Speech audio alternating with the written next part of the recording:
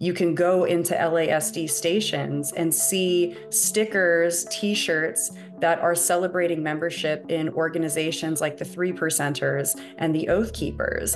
The idea that defund is uh, has become unpopular or is is over in some way um, I think that's a very reactionary point of view, and it's it's a view that's being marketed. Defunding the police is a very popular idea. A majority of people, when polled without that language, want to see uh, money moved out of policing.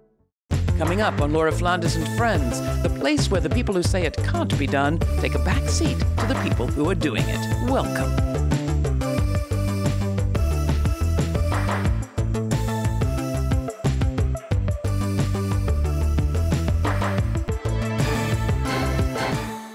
In 2020, millions of people came out into the streets to protest racist policing. Many called for redirecting public resources from policing to public health.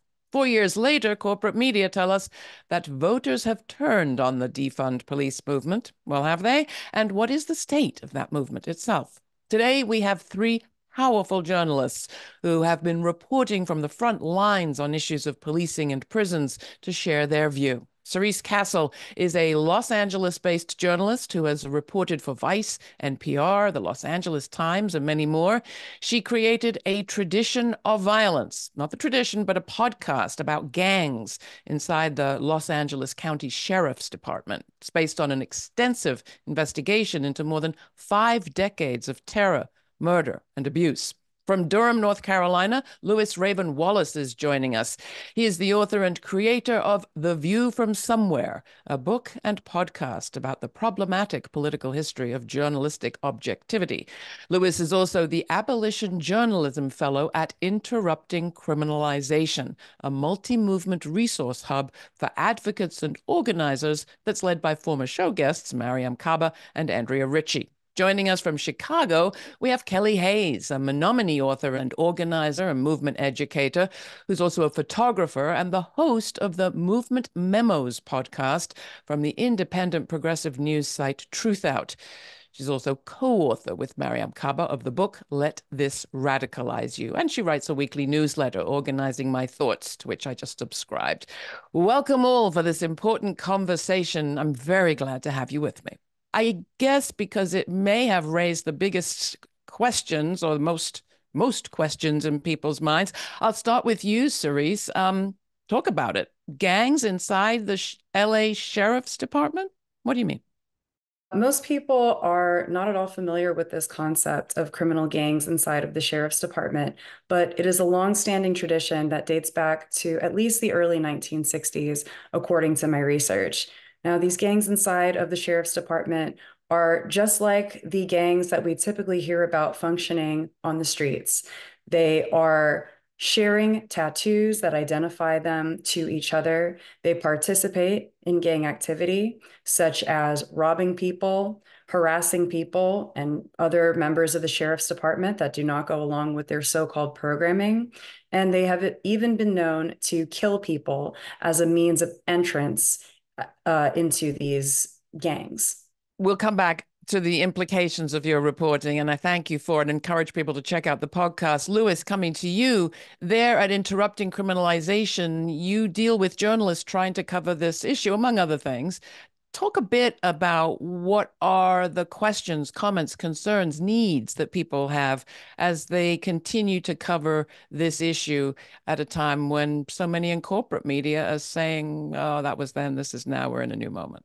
A lot of journalists for the last few years who are trying to bring their ethics and values into the newsroom have been super, super challenged by that corporate leadership, but also even in the field of public media where I used to work, uh, public media leadership, kind of regulating this idea of objectivity and neutrality based on the thought of the day. So there was a window of time where it became okay for journalists to say, Black Lives Matter. Prior to 2020, that hadn't been okay.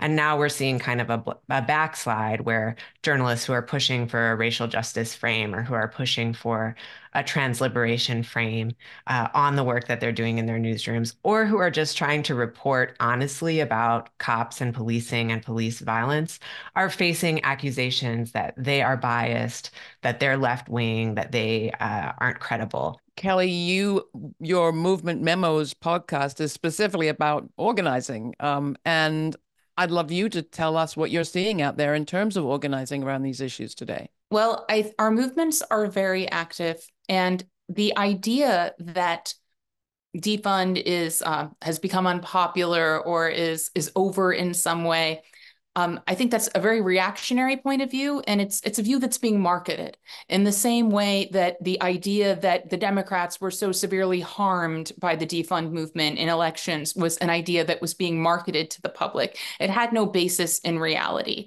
Um, folks who were energized and who were organizing to bring uh, life-giving services to our communities, to shift funds away from punitive carceral measures and towards the kind of care that we need in our communities are very active. And we are actually seeing progress in that on those fronts in some places. In Chicago, Treatment Not Trauma is a very popular campaign that has continued to build steam. We have here a progressive mayor who was elected under the power of movements. So the idea that um, we've lost ground, uh, that our organizations have become weak, this is false. Tell us a little bit more about that. I mean, Truthout is a national outlet. You're there in Chicago, though. The election of Brandon Johnson as mayor, as you mentioned, is very wrapped up in all of this. Is he an outlier? And and how would you contest that notion that this issue was uh, bad for Democrats? Obviously, uh, we have a different situation here than folks are facing in a lot of cities because there is nothing inherently liberatory about the Democratic Party. We have cop cities being built in Democratic run cities. We had um, a siege laying for hours to protesters at UCLA, where, um, you know, the you know, Los Angeles police and the Democratic mayor of that city did nothing for three hours while protesters were being attacked by counter protesters, basically vigilantes. And so there is a lot of harm that is going on. And there are certainly critiques to be made of Brandon Johnson as well. But the fact is that this mayor exists because our movement's organized, because our people organized. That shows us that this is possible. That when we build together, when we practice the craft of organizing at the community level, we can shift power dynamics and we can win unlikely victories coming to you, Cerise, on this. I mean, the story in L in, in LA, as Kelly just described it, um, of what happened in the encampments intersects with your reporting in lots of ways. And and I wondered which struck you the most as you watched what was happening, having done the reporting that you've been doing.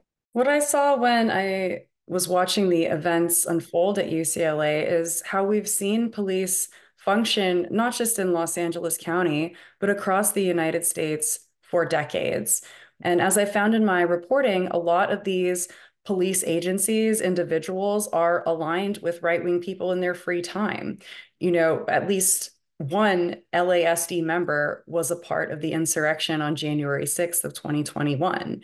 You can go into LASD stations and see stickers, t-shirts that are celebrating membership in organizations like the Three Percenters and the Oath Keepers. And a lot of those same tenants are upheld by these white supremacist deputy gangs that are proliferated throughout the department. And this isn't just deputy entry level people that are engaging in this stuff. Our current undersheriff, April Tardy, who herself is a Black woman, is a self admitted member of a deputy gang. Just a few months ago, the sheriff's department admitted that they uh, promoted another deputy gang member to be a senior level executive. So, this is ideology that is embraced throughout the structure. And LASD is one of the foremost trainers of police departments and sheriff's departments throughout the United States and across the world. And we know that there have been international training exchanges as well between the LAPD, among other police departments, and the Israeli Defense Force.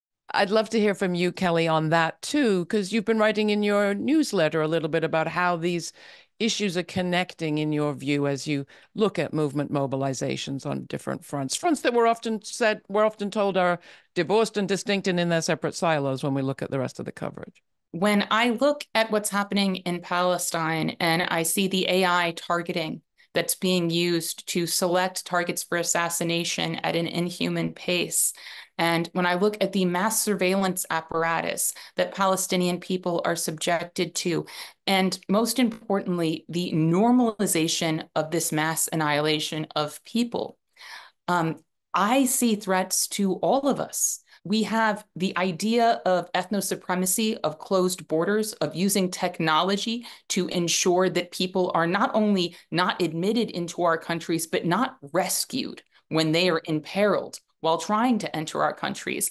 Um, when we look at the ecocide of militarism, these intersections, they're everywhere. And lewis I'd come to you on that. Obviously, North Carolina didn't need any Israeli advice on how to be an ethno nationalist kind of a place going back into US history. And we've done some reporting on the relationship between sheriffs in the eastern part of your state and groups like the Oath Keepers and the Patriots and so, uh, Proud Boys and so on.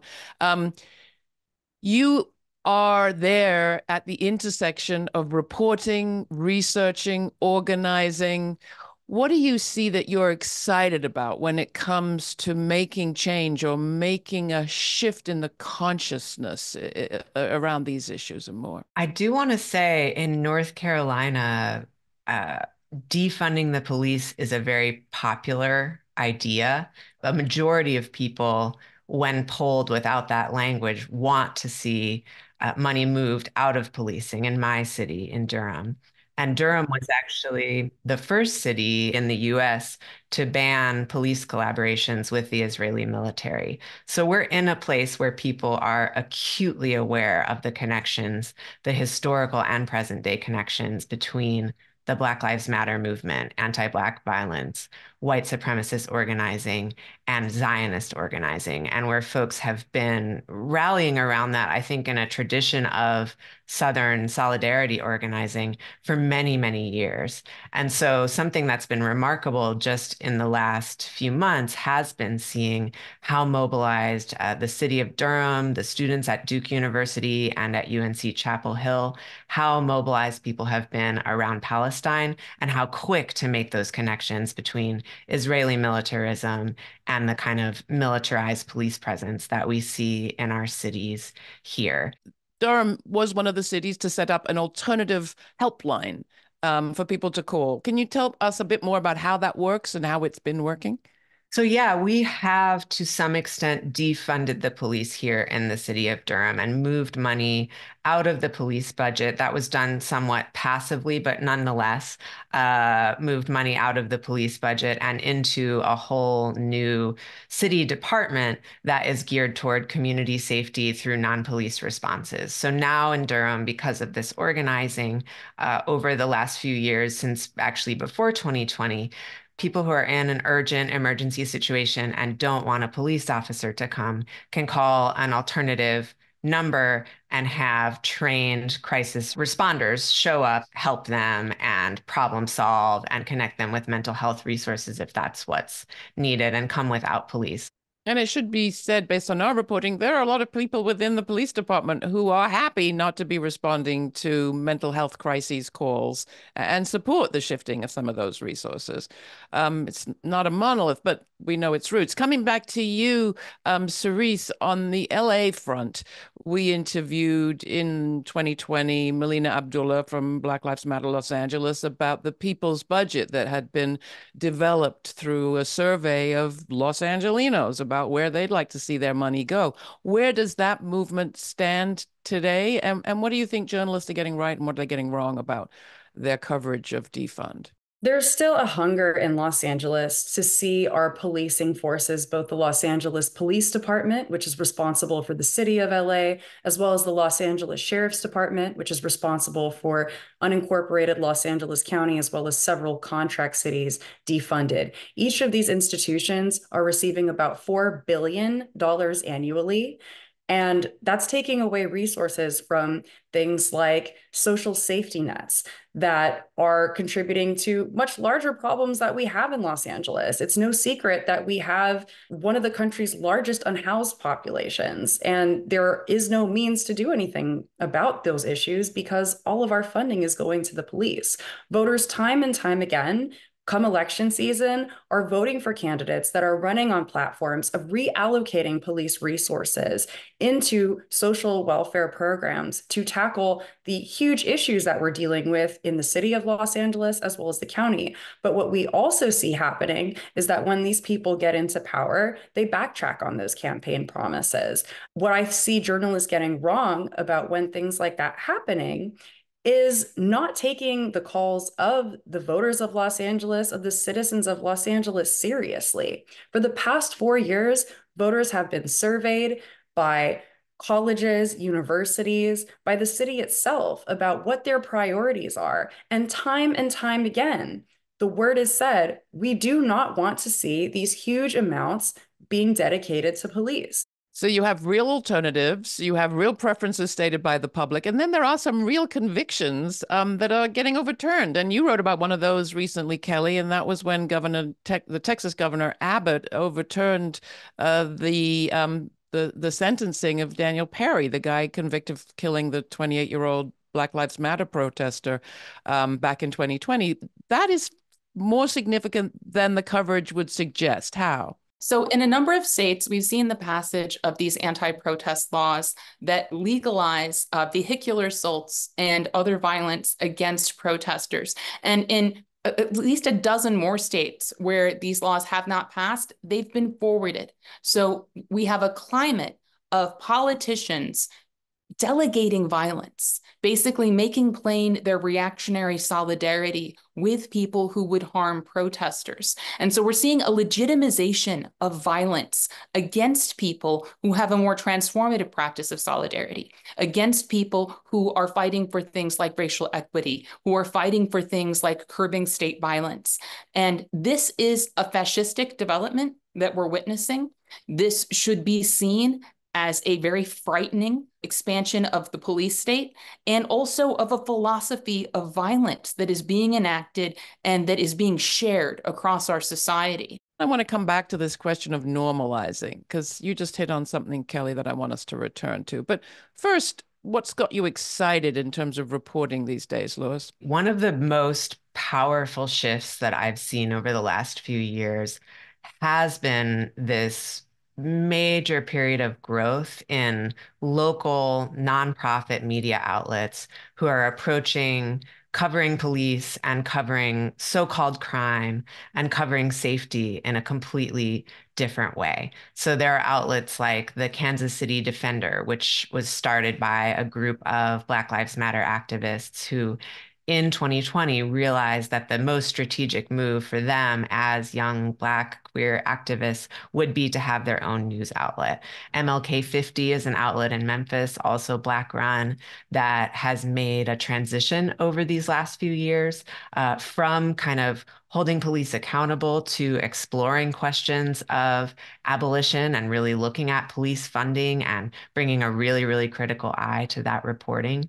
Uh, another outlet, uh, also in the South, is Mainline Zine, which is an online outlet and podcast based out of Atlanta that's done a bunch of the most kind of on the ground nuts and bolts reporting about the Stop Cop City movement, as well as the Atlanta Police Foundation, and following the money, making the connections between the largest newspaper in Atlanta and the Police Foundation. I want to come back to your book and, in fact, pick up on this question of, of normalization. In The View from Somewhere, you talk so poignantly about your own place in this reporting and that question of objectivity. You have a fantastic line at the end of the book where you imagine yourself reporting on a flood, maybe Katrina, could be any climate induced flood. Mm, you say, you know, if I'm standing in rising water, am I too close to the story? I do think the climate story is such a poignant example because it is close to all of us. Nobody can claim sort of an outside status in relationship to ecosystem destruction. Another area where I've been really influenced around this is, of course, trans liberation and coming up uh, as a young trans person without any models of what a trans journalist would be, and with this kind of narrative that um, being trans made me inherently biased around trans issues. Uh, the shift in framework for me has been to say, you know, actually everyone is biased around gender issues. Everyone has a gendered experience. And in fact, trans people have a special view of that, an inside view, not a monolithic view, not a view that overrides, for example, racial bias that I might bring as a white trans reporter, but a view that might give us uh, a certain kind of access to sources and stories and a certain depth of understanding of the implications of those stories. And so I think, you know, trans journalists, Black journalists, Indigenous journalists have been saying and sort of teaching this truth that our proximity and kind of conscious proximity to a story can be a form of wisdom and a, a deep resource in a way that has been in direct conflict with kind of the dominant mainstream view of what makes an objective journalist. And I think that's not coincidental. I think that's actually kind of an ideological frame that developed, if not consciously, at least uh, in some sense intentionally to exclude organizers, activists, and people speaking on behalf of our own communities and say, you know, they're not credible because they're too close. We're all close. And I think the best thing we can do is be conscious of that and then work with it and make something um, complex out of it in the stories that we tell. No, I read, Cerise, that the LA Sheriff's Department, the LSS, LASD, wouldn't respond to your reporting. How does that affect you? And, and did you think about your own vulnerability in doing this reporting? And if so, how did you address that? Absolutely. I thought about my own vulnerability when doing this reporting. While I was still reporting my initial series on deputy gangs, I received several messages from people inside the department that they were in fear for my life because photos, uh, personal photos of mine, were being passed around stations. My the license plate number of my car was showing up in internal memos. And I've faced harassment. I've received death threats. I've received rape threats. I was doing a story uh, just a few weeks ago after meeting with some witnesses to some potential deputy misconduct. I was pulled over. So the repercussions have been very real for me, but it is not anything that would ever stop me from doing this work. We are in a moment now. It is time to take action, and history will remember those that did and those that did not. Kelly, coming to you, and thank you for that, Cerise. Appreciate it. Uh, you wrote in your book with Mariame Kaba about what it is that actually moves people when the facts fail. Um, when simply telling people how bad things are or how high the incarceration rate is, how low the cr- violent crime rate is, doesn't move anyone. What does? I think we rely on fear a lot because some of us are compelled to act out of fear. And so we get this notion that if other people are afraid like we are, they'll want to do something. But a lot of people withdraw from fear, they recoil from fear. And so we just have to remember that there are a lot of other emotions that we have access to um, admiration, disgust, uh, the need for belonging. Um, the desire to engage with something that we perceive as beautiful or important, um, the need for fellowship that we have. I think that there are so many angles by which we can invite people into a story that is worth being part of. And uh, I believe that we are doing that work. Thank you so much, Cerise, Kelly, Lewis. It's been a pleasure having you with me. Thanks, everyone, for joining us. You're watching Laura Flanders and Friends.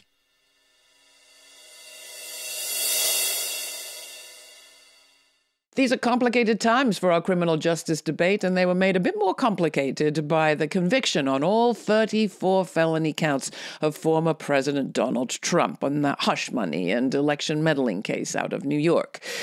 What have been the talking points since? Well, for some, it's been the system works, uh, to which I'd simply say for most people, it doesn't. People without the power and privilege of Trump would have been sitting behind bars long before now on counts similar to the ones he faces. Others will say it works because, look, justice has caught up with Trump, but has it? Not for a lot, and not quite yet. Will he serve time? Well, that's complicated too. He is, after all, a first time convict on a non violent offense. Are we really going to say that all such people should be sent off to prison? We can think more complicatedly than that, can't we? I'd like to suggest that where we need to focus is on those billionaires still ponying up millions of dollars of support for this guy, even since the verdict, and on that party that stands ready to throw its wholehearted support behind this candidate. What does that say about our political system? Political system? Criminal justice system? I think it's all a call for complex thinking, for thinking more carefully, for behaving more bravely, and for perhaps thinking more about those jurors and a little bit less about that candidate. I'm Laura for Laura Flanders and Friends. Thank you for joining me for some complicated thinking. We'll be back with more next time. In the meantime, stay kind, stay curious, and thanks for joining us. For more on this episode and other forward thinking content, subscribe to our free newsletter for updates, my commentaries, and our full uncut conversations. We also have a podcast. It's all at lauraflanders.org.